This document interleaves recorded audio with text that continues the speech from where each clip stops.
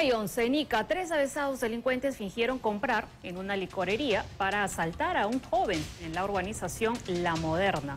Este robo fue registrado por las cámaras de seguridad de una vivienda y se ve cómo llega una mototaxi de color rojo, da varias vueltas hasta que finalmente se estaciona en una bodega para supuestamente comprar licor.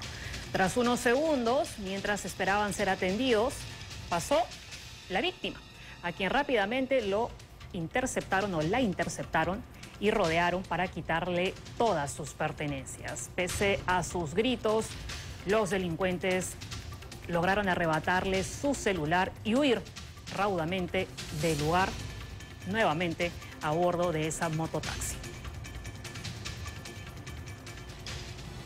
La policía capturó a